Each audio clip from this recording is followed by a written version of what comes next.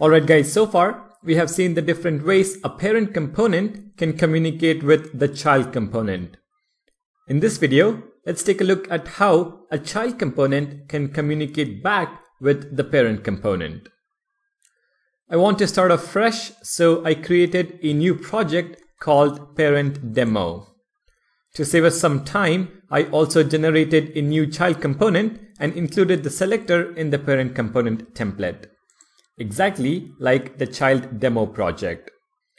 So we have the parent component HTML that says parent component and has the child component nested inside. The corresponding parent component class, the child component template that says child component and its corresponding class. If you run the application, you can see that the output is as expected. A heading for parent component and one for child component. When you build medium to large Angular applications, you're going to come across scenarios where a parent component has multiple children components.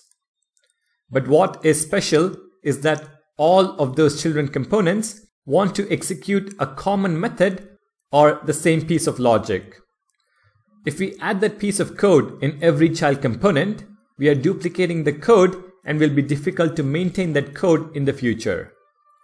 So a common practice is to write that piece of logic or that piece of code in the parent component and all the children components ask the parent component to execute the logic.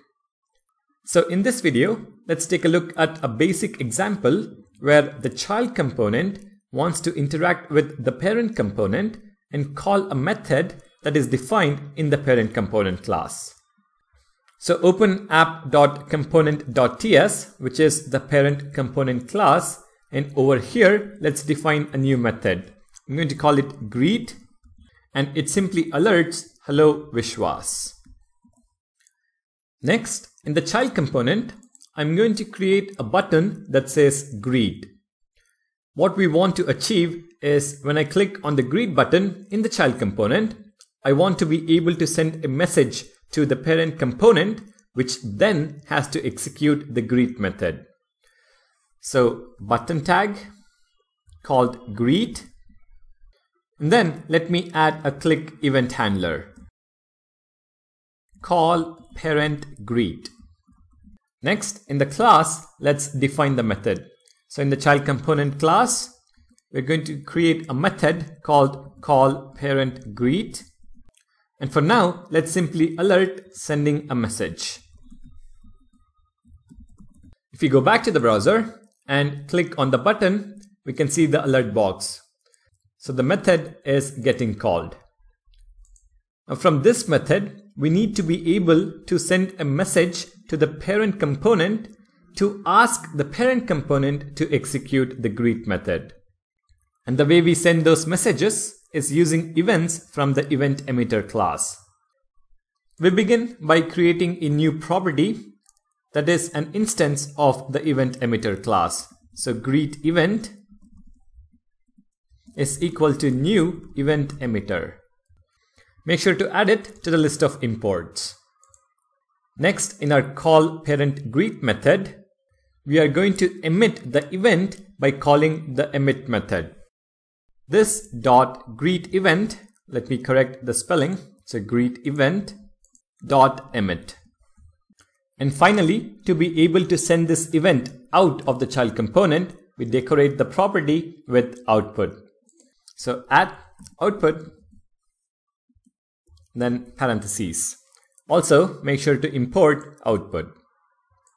So what we are doing in the child component is listening to the button click event and then sending out a custom event called greet event. The parent component can now catch this event and execute any piece of code. So let me go back to the parent component template and within the child selector, just like how we bind to a click event, we can bind to our custom event. So our custom event is called greet event. And when greet event is received by the parent, let's call the greet method. If we save this and go back to the browser, click on greet you should see the alert message, Hello Vishwas. Now let's say instead of Hello Vishwas, I want the greeting to be Hello followed by a name that is passed from the child to the parent. We can achieve that by passing parameters with the emitted event. So in the child component class, let me create a new property. Let's call this name. And this is going to be equal to Codevolution. And when we emit the event, let's pass the name as a parameter. So this dot name. The parameter is received as the dollar event value of the event binding. Let's pass that on to the greet method. So greet and within parentheses dollar event. And let me modify the greet method to take into consideration the name parameter. So greet is going to accept a name of type string and alert hello concatenated with the name.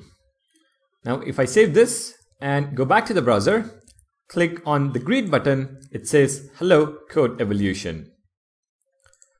So that is how a child component can communicate with the parent component. Using the event emitter class and the output decorator, we can emit any custom event out to the parent. In the parent component template, on the child component selector, we bind to that custom event and get a hold of dollar $event for any passed in parameters and call the method we wish to execute, which in our case is the greet method.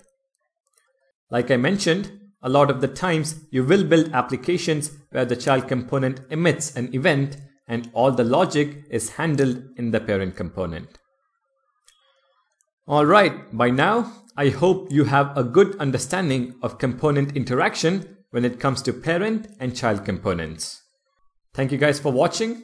Don't forget to subscribe. I'll see you guys in the next video.